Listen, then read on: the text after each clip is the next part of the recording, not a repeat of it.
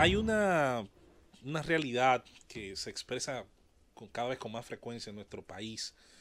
y en, nuestra sociedad en general,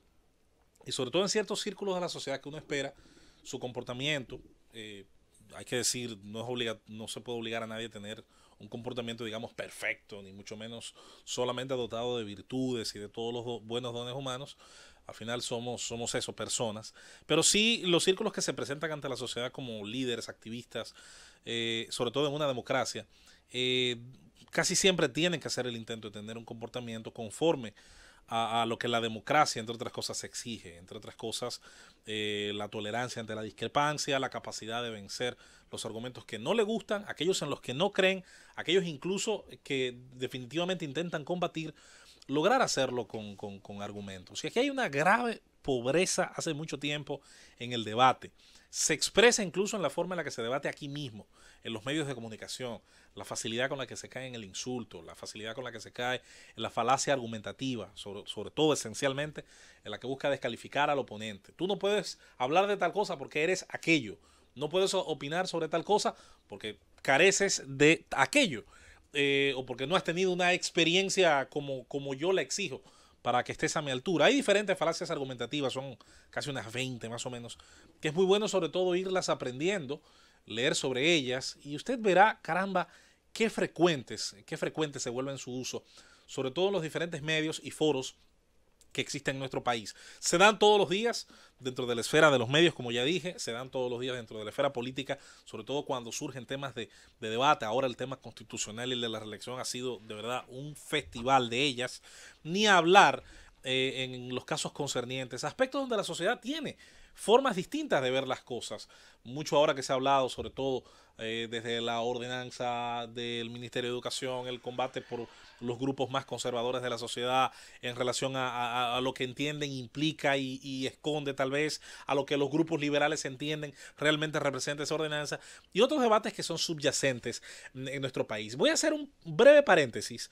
eh, sobre todo para que mucha gente entienda hacia qué enfoco mi comentario. En España, una democracia representativa que tiene muchas cosas ejemplares, otras no tanto, pero que yo pienso que desde su modificación constitucional de los años 70 y, sobre todo tras hacer una transición eh, difícil de una dictadura como la franquista hacia un proceso ya de, de elecciones, de niveles representativos, quizás no lo más óptimos del mundo, pero yo diría que muy ejemplares en relación a lo que pasó en otros países cuando cayó su dictadura. El nuestro es un caso negativo de cómo manejar una transición post-dictadura. Yo pienso que el caso español tiene muchos aspectos eh, que pudieran ser estudiados. Cuando se dio esa transición surge, entre otros, la figura de Felipe González y este gobierna las primeras legislaturas eh, casi sin, sin, ningún tipo de escollo político, una oposición débil, unos rivales muy envejecidos como el caso de Fraga, eh, de la Unión Popular, y obviamente un relanzamiento de esa España eh, posterior a la dictadura que fue muy interesante, sobre todo como potencia turística y como economía de servicios. Pero llegaron los años 90 y llegaron muchos aspectos eh, también negativos. Comenzaron las crisis relacionadas a temas de corrupción, el famoso caso Rumasa. Eh, comenzaron los problemas económicos también en la parte privada, como fue el caso Banesto. Y, y mucha gente se pregunta dónde estaba la regulación estatal. Y llega en 1993 una coyuntura donde Felipe González tiene que por primera vez en su historia política como, como jefe de gobierno adelantar las elecciones, algo que ocurre mucho en los, eh, eh, o que ocurre con cierta frecuencia, mejor dicho, en los regímenes parlamentarios. Llama a elecciones y comienza una campaña adelantada. Y dentro de esa campaña adelantada surge también una nueva figura en la política española, y es la del debate televisivo. Y el primero de esos debates se pacta entre las candidaturas más importantes, la de Aznar del Partido Popular y por supuesto la de González del Partido Socialista Obrero Español. Se decide en qué canal va a hacerse, con qué conductor, con qué moderador y bajo qué condiciones se va a hacer ese debate. Por cierto, los debates, siempre he pensado, son parte también de la fortaleza, ¿por qué no decirlo?, de los sistemas democráticos representativos como los conocemos. La primera eh, versión de ese debate surge la curiosidad de que los asesores políticos del señor Felipe González eh, se toparon por primera vez en mucho tiempo con un defecto que a veces tienen personas muy virtuosas y es el exceso a veces de seguridad en sí mismos y en sus argumentos. Felipe no quiso por ningún consejo ni activa ni pasiva preparar el debate, estudiar el debate y, ¿por qué no?, incluso hacer un trabajo de inteligencia previa de su rival. Se entendía, se asumía como un político capaz que había logrado vencer a más importantes rivales que este y por lo tanto fue a este debate a, como se dice en República Dominicana, a mano pelá. Se topó con un rival que, por el contrario, no era tan buen candidato por aquello de la presentación, pero sí era un gran político y que logró ponerlo en aprietos en ese primer debate, logró hacerlo ver alguien que estaba improvisando y que no recordaba aspectos importantes que en teoría a su electorado podían significarle eh, muchísimo. Esta situación de ese primer debate televisado le mostró, sobre todo a una generación muy exitosa de la política española, que las reglas de juego habían cambiado. Y que incluso un político con la experiencia de un González que llevaba varias legislaturas tenía que sentarse a volver a repasar algunas lecciones que lo habían hecho exitoso. El segundo debate, que también está por ahí esa gran lección en YouTube, mostró Felipe González que haciendo la tarea, volviendo, por así decirlo, al pupitre, retomó algunas de sus principales fortalezas y unidas a otras que eran intrínsecas, como su carisma, su excelente oratoria, bueno, en ese segundo debate le dio un repaso a su rival. Llegaron las elecciones del 93 y aunque sería un resultado un tanto sombrío para el PSOE, terminaron manteniéndose en el poder hasta el año 96 en lo que serían sus últimos tres años al frente de la administración pública. Un titán en política como Felipe González recibió una enseñanza y pudo a tiempo corregir su terquedad. Incluso un político curtido en las lides del poder tenía que profundizar la capacidad de poder defender su legado, poder defender sus ideas de gobierno. En nuestro país da la impresión de que algunos sectores intelectuales, de que algunos círculos de activistas entienden que sus ideas están impelidas de superioridad moral. Están eh, ya de por sí bendecidas y ungidas, sabrá Dios por qué autoridad divina o terrenal, de ser autosuficientes. Y así encontramos grupos que se acostumbraron a ese unísono, a ese monólogo, al aplauso entre camaradas, al espaldarazo de todos en la mesa y cuando enfrentan ideas opuestas, lucen generalmente un tanto descolocadas. La presencia en República Dominicana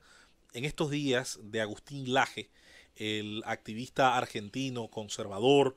que eh, tiene pues opiniones que son para muchos escandalizadoras, para otros eh, se acercan a lo que entienden es su visión de la realidad en lo social, relacionadas a diversos temas, como la ideología de género, como el feminismo, que muchos interpretan es radical, otros interpretan es el, el que está más acomodado a los tiempos, y sobre todo temas tan polémicos como el aborto, temas que ah, yo pienso que a todos nos deben significar de muchísima importancia, como es el adoctrinamiento en diversos temas a partir de la educación pública. La presencia del AGE no es una novedad, estuvo hace un año y pico en el país, incluso lo tuvimos aquí mismo en la cabina del gobierno de la tarde. Y recuerdo cuando él y su compañero en ese entonces de conferencia, pues estuvieron aquí hablando de varios temas eh, con los cuales no necesariamente estábamos de acuerdo en todos, podíamos tener coincidencia en algunos, podíamos tener disonancia, sobre todo tal vez en la forma, pero estuvieron aquí, recuerdo. Esa visita del AGE no causó el impacto que ésta sí ha logrado causar, sobre todo porque es increíble cómo no tanto a veces por la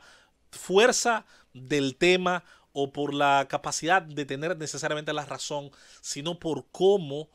qué, qué mal lucen fuera de la zona de confort muchas veces nuestros panelistas, nuestros grupos de opinión, nuestros periodistas, nuestros comunicadores y sobre todo el activismo que se hace sobre ciertas causas muy justas, muy necesarias y que muchas de ellas yo entiendo que merecen, por lo tanto, recordarles que sus posiciones y sus posturas, si quieren ganarle a los argumentos de la otra contraparte, no se va a lograr sino con mejores argumentos, con razones, con datos y probablemente, porque nadie las va a ganar todas,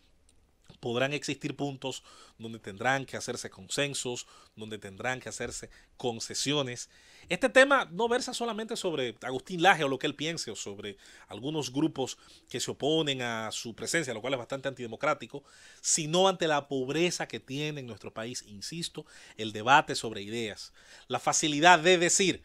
no, no me importa lo que opina fulano de tal porque él es un don nadie, el, famoso Magister Dixit, que es una de las falacias argumentativas. Si fulano no tiene tantos títulos o maestrías en un tema, lo que él dice no puede igualar lo que yo eh, eh, diga con tantos o cuantos eh, pergaminos o diplomas en mi espalda. No, al final hay una sociedad a la que hay que convencer sobre todo quien está en el ruedo político, no necesariamente la política partidista, que también necesita de ello. Nos referimos al activismo social,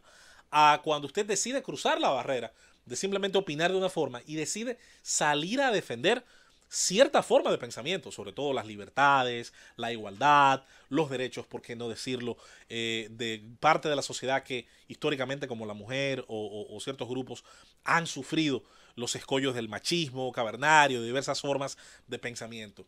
Pero eso tiene que hacerse también conociendo los límites de nuestros argumentos y nuestras posiciones, que es allí donde comienza la forma de pensar del otro, que es allí donde comienza también la forma de pensar de grupos que podrán ser mayoritarios o no, no importa, pero cuya presencia en la sociedad también tiene importancia. Hoy por hoy, uno de los aspectos, y con esto voy a dar cierre a mi comentario, que a mí más importante me parece haber aprendido, fue lo ocurrido en, el, Estados Unidos en el año 2016. En el año 2016, hasta la noche de las elecciones, ver la arrogancia de algunos analistas políticos que entendían que había primero un votante que era un actor social de segunda, que había una parte de la población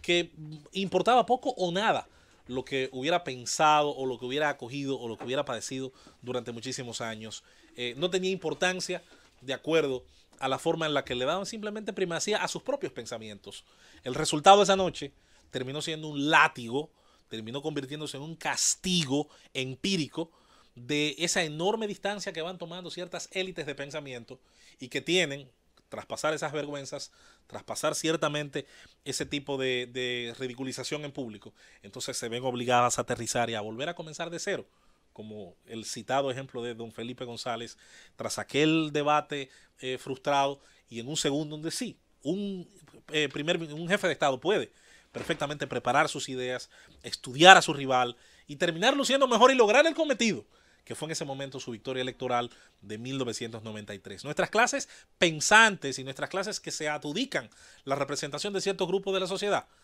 tenemos que aprender a tolerar, tenemos que aprender a debatir, tenemos que aprender a contraargumentar y con esto enseñar también a quienes nos escuchan, leen, ven y se convierten en partícipes del debate, así sea a distancia, que en democracia estamos intentando convencernos unos a otros, no aniquilarnos, unos a otros.